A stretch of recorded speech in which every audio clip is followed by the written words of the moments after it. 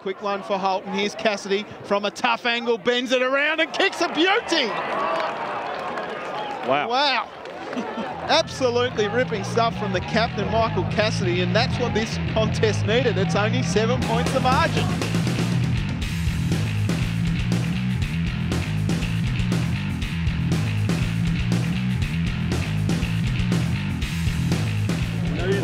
Good afternoon, ladies, gentlemen, boys and girls. My name is Tubes Taylor, and this is the game of the year. And tell you what, Peach, SFL versus Old Scholars is the game that we're up and about for today. Very exciting to see an Old Scholars rep side together, mate. What's that mean for you?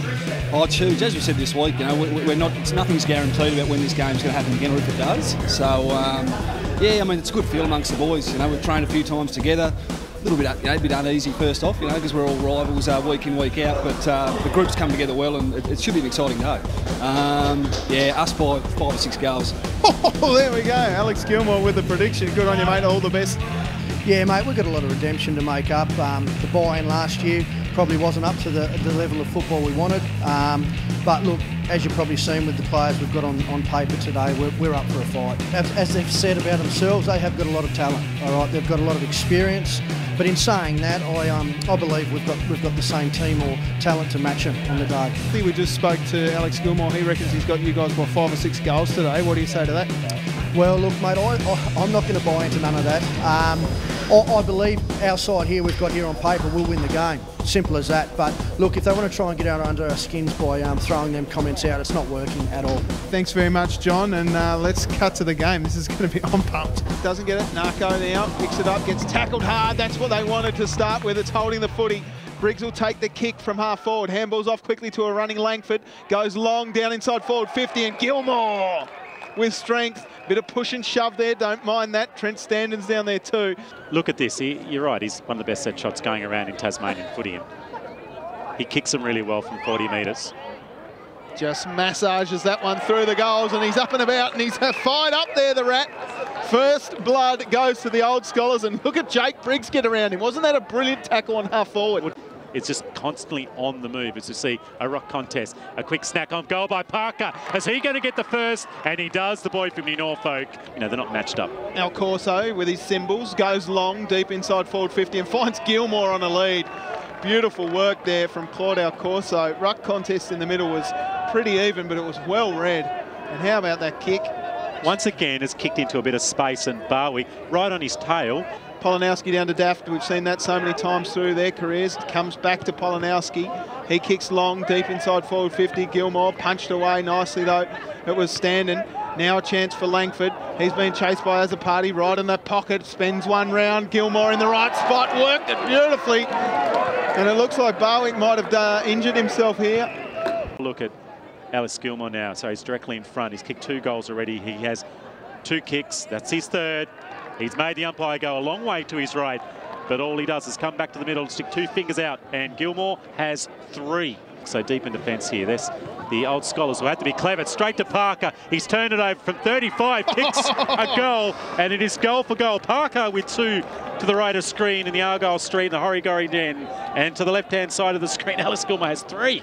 And now they're look out. They're running away here by Lewis Franks. Lewis Franks looks like he's had a nice new fade on the haircut as that man stands in front for the SFL. Out it comes for Richmond. He got his handball away. Livingston over the back. Oh, Briggs, caught uh, it's Wilson. Caden Wilson had top one high. Caden Wilson will put this one back. And he does. So Caden Wilson kicks his first goal and the Old Scholars shoot out to a 13-point margin. Free, He likes playing that sort of loose man. But now and again when Casti has these struggles. Good from Langford off to Phillips, who drives it inside forward 50, floating across the pack. There's no need for that. He's out. I think Murphy's down here, but I, I think this was relative. It was okay. Let's, I think it was a 50-50 contest. Got a really good ruck contest at the moment. Polanowski probably just winning it as a clearance kick there by the Southern Football League. Cassie trying to win front position. Luke Potter's been good. Potter handballs off to Marty Allison. Marty Allison from 40 metres kicks a wonderful response for the SFL. And the fans just on the left-hand side here in the Duffet position uh, applauding Southern Footy League and Cassidy trying to pump up the team. Geez, they need another one here as it comes out for Rawson down towards Parker over the back. quick one for Holton. Here's Cassidy from a tough angle, bends it around and kicks a beauty. Wow. Wow.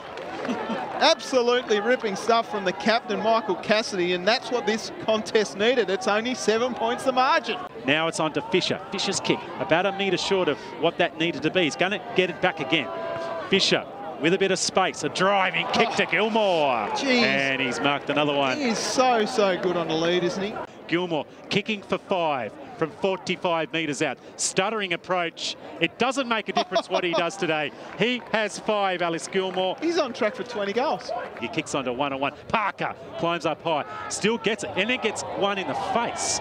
Didn't actually dispose of it. Ben Holton knocks it off, finds Theodore James, kicks it long, and kicks a response. And a late goal here for the Southern Footy League. They're only six points down, Tubes Taylor. Garvey wins it down. Out it comes here for the SFL handball. A little bit too much on it over the top. Kobe Phillips gets it away. That's a great tackle, and that's holding the footy. Phillips goes in towards Symbols there. Alcorso grabs it with two big Zildjian cymbals and then sends it inside forward 50. And here's the first time we're calling Ian Callanan's name. He got tackled once, and he had, I think, one handle in the first quarter. Finds his man in Louis Franks. They want to get it in the Fade's hand, so sends it long. Oh, Callanan went up for it and then going back with a flight. That'll be a free kick against poor old Geordie Dunn, who copped a kneecap in the eyebrows. No, it's not. It's Callan free kick. Yep. No, but he got it. Oh, sorry. Uh, so, Yep. yep. Gee, that's a kick. And now Franks from that half-back position plays without an opponent, and oh wow. Alex Gilmore takes a mark amongst about seven SFL players. Will he kick a le on left footer here? He's a good left foot kick, Gilmore. Don't reckon. I reckon he'll go the right check side. That one extra step was good from Gilmore. Just that bit of body contact to get that space. Tubesy tells it like it is, and Gilmore kicks his sixth. I'm running out of space here for Gilmore on our little score sheet. I started on the very far left You- hand you side of the page. that something I big knew was he was on happen. today. Plays on quickly, but he decides against it. Goes down towards Holton, who goes bang with a one juke. He's cheated there, Holt. That went to the ground. But he, he looked like he was confident. And the umpire was on the other side, and he's paid the benefit of the doubt to the bloke who nearly marked the football. Nathan Hardy's upset about it. Holton, Holton just looked confident down. No, Look at this. He definitely hit the ground, but that's okay. We'll give it to him. He just pushed off, and there it goes on the ground. no stuff. It actually spent more time on the grass in his hands. Oh wow! Where's that gone? Down Burnett Street. Down Letitia. Yep. Now it could be on the Burnett into that one of the worst intersections in Tasmania. So Franks with the fade just slips over, sends it long. Briggs went high. Now a short one from Roberts. Finds the young man, Jai Bierman. We'll just see this kick on goal. That's not bad. It's sneaking back in. Jai Bierman. And Bierman, a surprise packet. The Um, youngster kicks a goal. Well, it's one for one here at North Hobart Oval. Good contest as we see Jai Bierman kick the goal early in this quarter, applying some great pressure then on Louis Franks. And has won a free kick, Louis Franks. There it is, Louis Franks. It's Beautiful going kick. to go Beautiful straight through. Beautiful. And unfortunately, no one can defend that. And the old scholars just sneaked that lead out to two goals. So down it comes. Speak of the devil. He's got it here now, and he slips underneath. That was beautiful by him. Kicking it forward. Sliding in though. The old scholars are going to get it here, but it's come out now. There he is, Tom Roberts. Down towards the big man Holton, who takes the mark. and we know his kicking is good. There's Holt directly in front. Now there's some confidence. I mentioned Ben Holt. He likes set shots, but he needs some confidence from them. A bit like Shaq on the uh, on the foul line. you get a couple in him, he suddenly gets confident. He goes from 50 to 55% accuracy. And Holt gets one back here for the Southern Footy League. Now the old scholars move it forward to half forward, just lacking a target, Oh, but it doesn't spot. matter. It's knocked to ground. The ball's driven in. Gilmore, as he has done throughout the day, leading out from full forward and taking a mark on his chest in the last little while. So he's, well, what are we going to say? This has to be a sausage roll, doesn't it? Yes.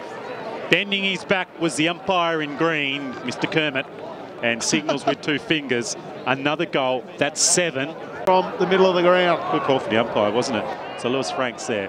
Potter was away too. Unfortunately, gave away the free kick. Gilmore!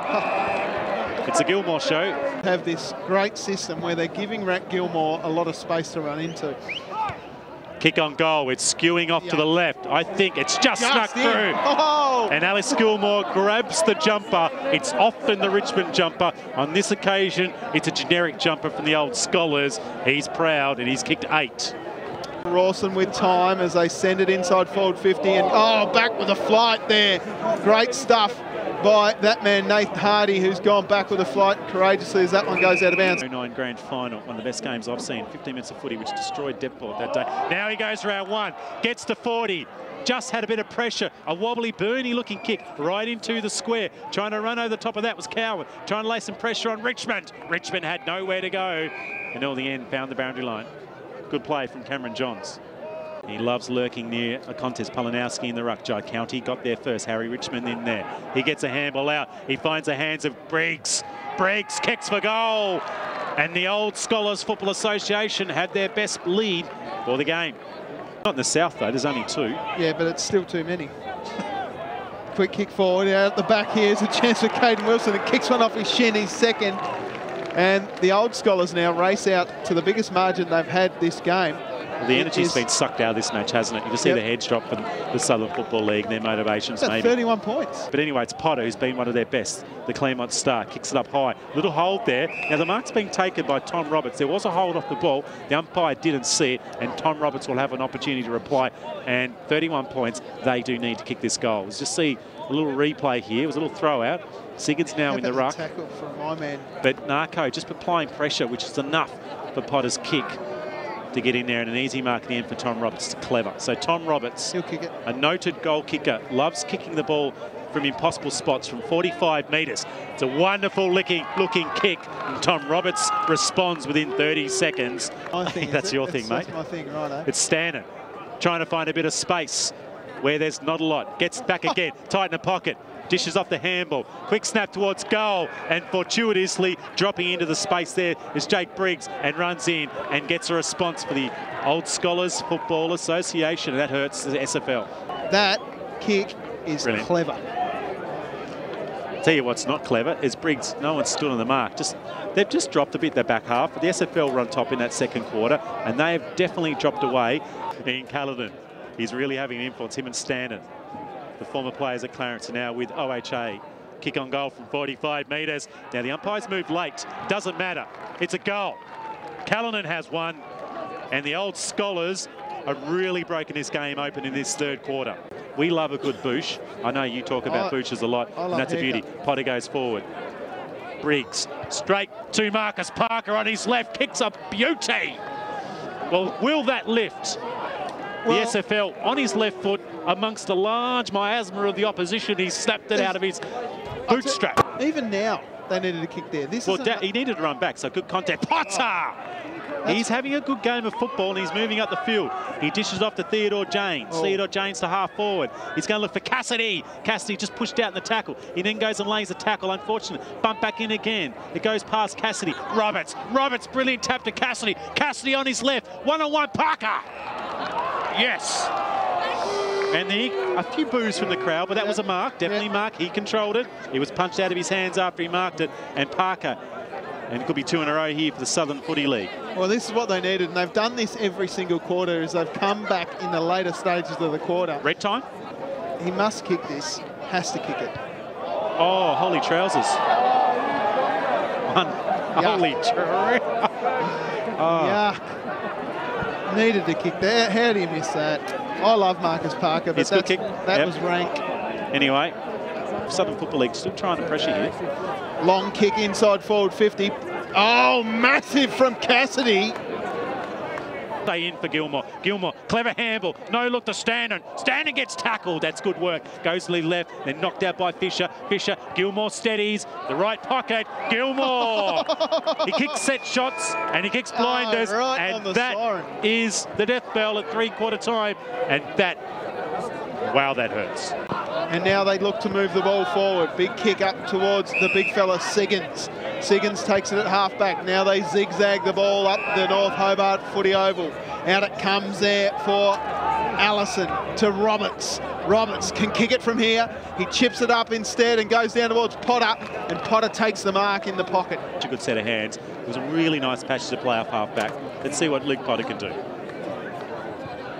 Luke Potter can kick a goal. So Southern Footy League, the heartbeat is there. And if it's still there, there's some hope. High fives. Needs to either send this long or send this laterally, and he goes halfway. That's and kick. that's a great kick to Cassidy, who comes out and marks it with a sliding knees, strictly ballroom style. Now he looks inboard. Oh, that's an interesting kick, but he, it works out okay. Bierman. Bierman takes the mark. In a good In a footy senior- team. He's coming from a good senior footy team in New Norfolk Yeah. too. So he's shining amongst some, some pretty useful footballers there. And he's directly in front. His opportunity to kick a second goal. This will be two goals for the quarter. Very direct, deliberate approach. He's kicked it. So Southern Footy League, the heartbeat increases. Knocks it out by Brady Langford into a bit of space. Goes past as a party. Then he lays a tackle. Stanton loves these opportunities. Brilliant from Stanton and finds Wilson 10 metres out. Let's So- hope we don't have a cold day because this van isn't overly insulated, is it? Luckily, we're both a little insulated. I'm Well, well and anyway. truly insulated. Caden Wilson comes in, makes no mistake. He kicks his third goal. He's had one in the first, the second, and the uh, sorry, first, third, and final terms. That margin back out to 26 points. Adams got his handball away. Kobe Phillips just swung at one and missed it. Oh, then caught one high. Did He Tommy made sure the Roberts. umpire saw it, though, didn't he, Tom? Yep. He's a pretty quiet And guy, 50 Tommy, metres too. too. Hot on the mark. About 20,000 people. Not when there's about 1,200. So No, no, there's- there- there's- there- no, there's actually probably 50. There's not a bad crowd here for those that are mocking uh, this game as they get one back here. So Tom Roberts has had an influence. He generally does. Phillips has been quiet, tackled, that's a hold in the footy. That umpire there on screen said play on. Tom Roberts sends a burner down, inside forward 50. Now there a chance here. This SFL must kick this goal, and does. Luke Potter has two and a quarter. For the Southern Football League in the middle of North Hobart. Kicks it high. It's not the best kick. Holton to beat two. Couldn't. Bierman tackled by. Oh, holding the footy. Well, he did just drop it, and I'll tell you what. He did have the biggest guy on the ground from uh, Callum Garvey. He's just in the wrong spot at the wrong time. It has just slowed a little bit, and that helps the Southern Footy League, I reckon. It's become a little bit more congested. That's a hole. It's really a high tackle on Potter as Garvey just taller. Oh. Roberts in the corner, sticks the ball into the air. That's close. That's a oh. magnificent goal. Potter has got the SFL back in with seven minutes left. Tom Roberts. He was from Wright Street. He was in the middle of Wright Street then. He might get fined for being in the middle of Wright Street and kicked a beauty. To see this on the Mood Food replay. Look at this. That's Jack Akermanis, Akermanis like it against Geelong about 12 years ago in the wet at the Gabba. One of the best goals I've ever seen. Well, that is in the list. Couldn't get it. Standard just stays on that one as a party. Standard gets the ball knocked out of his hands. Daft just threw the ball Clever. into the air. Could this be the response from Alcorso? And he throws his right fist into the air, and the old scholars get the lead back out to a couple. So right in the middle of North Hobart Oval. I think that is it, and it is. The siren goes and the Old Scholars win the very first battle between the SFL and the Old Scholars by 14 points. 111 to 97. SFL Old Scholars Football Association, 17. wasted a few opportunities, as we know, Peach, but we'll quickly go through the goal kickers. Alex Gilmore kicked nine. Caden Wilson with three. Jake Briggs with two. Claudio Corso with an absolute gem. Ian Callanan and Louis Franks with one apiece. And for the old, uh, SFL, it was three apiece to Marcus Parker and Tom Roberts, and two to Luke Potter, Jai Bierman, and singles to Marty Allison, Michael Cassidy, Theodore James, and Ben Holton. It is the Old Scholars Football Association, 17 9 111. The Southern Football League, 14 13 97. In a very entertaining game here at Yep. North Hobart Oval. Well done to both competitions for enabling this game to happen. Thanks to Martin Duffy. Oh, of course, uh, who's been great, and G J- Funk, but I really, really thoroughly enjoyed coming along Of here course, today, we must thank, of course, Jackson Motor Company and Bennett's Petroleum for getting us along, and of course the SFL and the Old Scholars. And thank you very much to you, Peach, for coming down from Wouldn't the missed it. north of the state. But that is it from us. My name is Tubes Taylor. You've been watching Duff TV. Until next time, take care and bye for now.